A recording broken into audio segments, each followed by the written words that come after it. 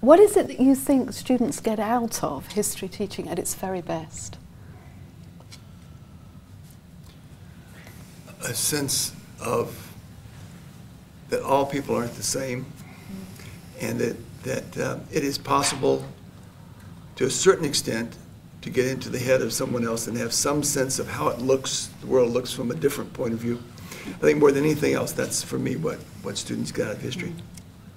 Or that what may seem to be very clear mm. and self-explanatory may not be. Mm. Yes. Mm. And that there are many questions that remain to be answered.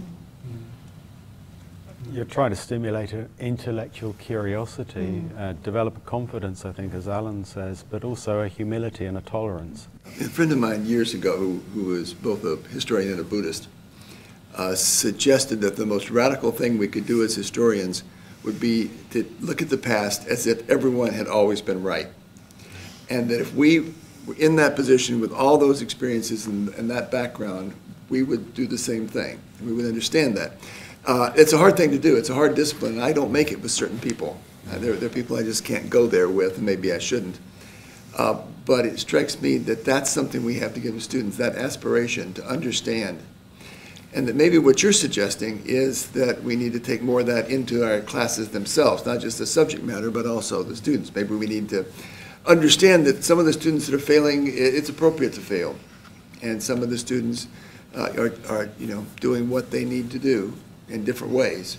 Well, there's something there about sort of, in a way, uh, encouraging the students towards a growing awareness in all sorts of different dimensions rather than too quick a judgment, which I think is partly what you're objecting to. And sometimes I think we don't give them time to do that. We make them evaluate, as we say, and that then does lead to a hierarchy of judgment in a way too quickly. And maybe that relates back to the Buddhist thing, which is about attentiveness to an extent, and first developing that in them. Well, I think we're, I mean, I think there is a problem. And, and the problem is this, that we're sort of assuming that they come in and they're blank slates, and we can do whatever we want with them. Um, and part of the reason they're so different from each other is, of course, that they're not blank slates.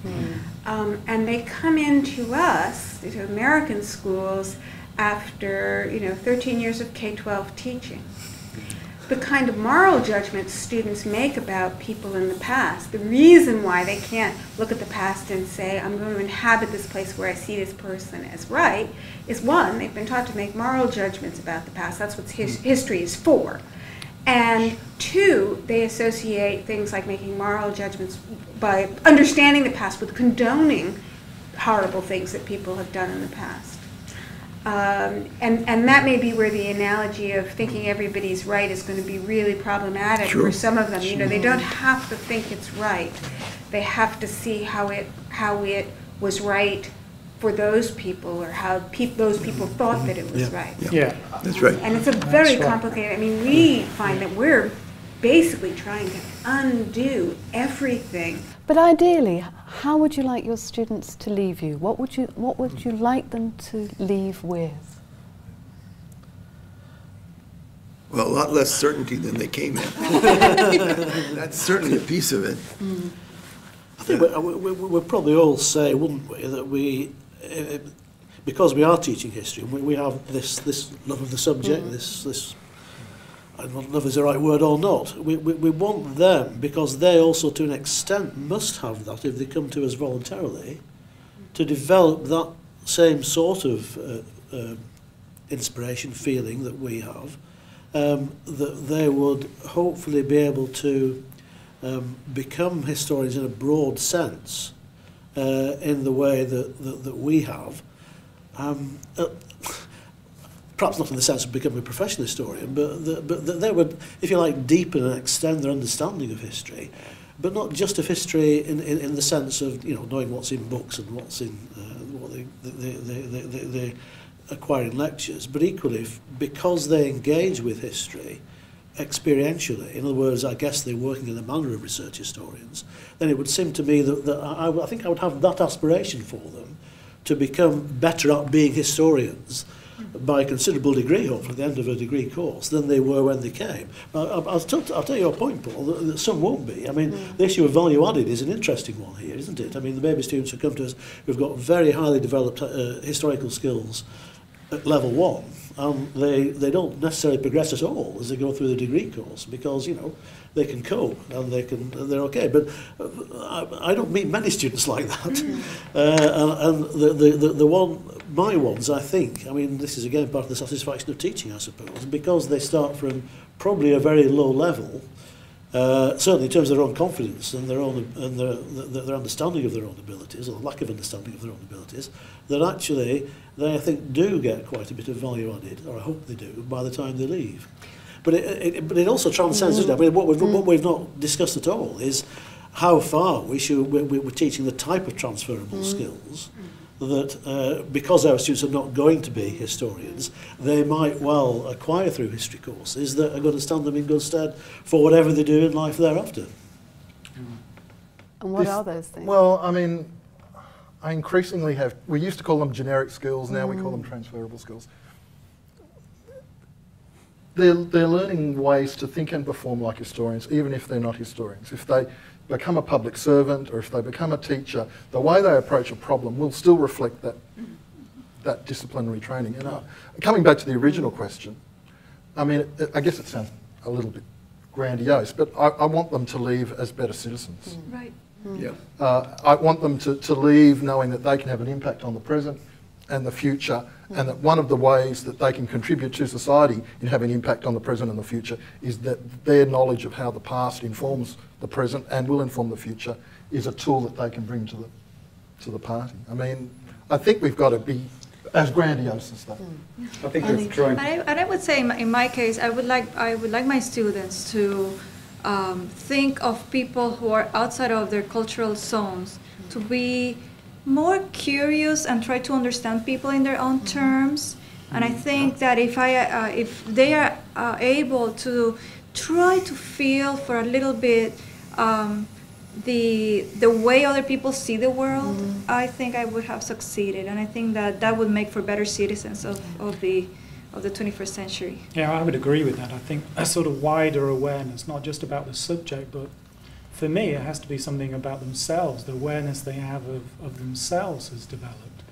And also their awareness of, of others and the society that they live in. And for me, that would be the perfect history education, one that was much more uh, holistic or, or integrative, if you like. And so those are the capacities. Suppose I'm seeing them in a much more personal and human way than transferable skills. I, I, I, I, I, there are different dimensions of this, aren't there? I mean, I, I, I go in with, with the, the sort of you know, morality arguments, um, and you know, it's Peter Stern's sort of point, isn't it? The history is a vast database upon which students can draw that will impact on their understanding of moral values, of citizenship, of identity. I mean, all those are important dimensions. Mm. But from the, the average student that I come across, that doesn't really enter to any great extent mm. into I don't I don't think into their consideration. What they're interested at the end of is eh, eh, of of the degree course is will my degree get me a better job? Mm. Now I, I don't like that uh, in, in many ways, but I can see why uh, people would come you know from that particular perspective and I think we're going to take that on board as well now if that means therefore we've got to be able to say to students well okay by being historians um, and acting in the, the manner of historians, you can acquire the sort of skills that are going to help you mm-hmm. in the world of employment. Uh, fine, that's part of the issue. The other part of the issue is can they then recognise that they've acquired those skills and argue that they've got those skills in particular contexts when it comes to the employment that they're trying to go into? Mm-hmm. That goes back to what Paul said, though, about the nature of teaching and the inadequacies in many ways of the kinds of teaching we do because we have large classes and large numbers sure. of students. Um, what we do a lot of, and particularly when we lecture, is we let our students watch us do analysis. Yeah. Now, I went to a dance um, and at an academic conference, amazingly enough, and I asked someone to dance, and he said, um, I don't dance. Well, then he said, Well, I could dance. Um, I've been watching people. So we do a lot of that. We expect our students to go out and dance when all they've been doing is watching us dancing. And so to change, I mean, and it also relates to your question of progression, of individual research, of practice and analysis, and all of those things. To the degree that as a profession we're still instructing students by giving them analyses of the past, we're not going to get most of them there. We'll get the ones who came in with the fine skills, who can see where we're doing the analysis. And the others will think that we're simply telling them a wonderful story. Right. And if there's something I think that we need to, that we're teaching ultimately, is to teach people how to think. Hmm. Yeah. And the only way we can get them there is by giving them the opportunity to think by themselves and develop in that area. They can find skills that will get them to be have other professors, professions and, car- and careers for sure. But what a historian can give them is the, the ability to think and to mm-hmm. ask the questions and to seek answers and to look at evidence and, and, and filter that evidence, so on and so forth. And but that has to be, and this comes back to learning by doing. In some mm. ways, that they've got to be doing things, haven't they? Mm. Which comes Yeah, back yeah. to Geoff's point. Mhm. And maybe that's been the biggest change that's happened over Exactly. the last I few it's a huge one, decades. Yeah. Yeah, al- al- although it goes back to the point I was trying to make at the beginning, I think, between, of the balance between the type of lecturing you're mm-hmm. talking about uh, here and the and the seminars that go with them and the more experiential stuff. Now, I, you know, the, I, I, I'm not sure we've got the balance right mm-hmm. from the point of view of individual students. Mm-hmm.